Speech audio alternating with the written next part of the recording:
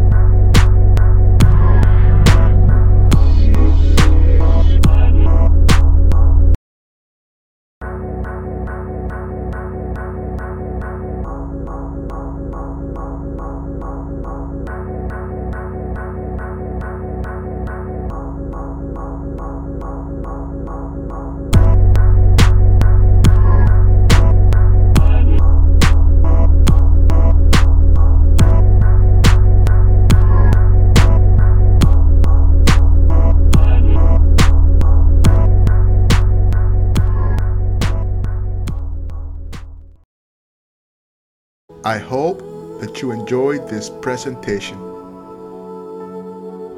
Thank you for watching.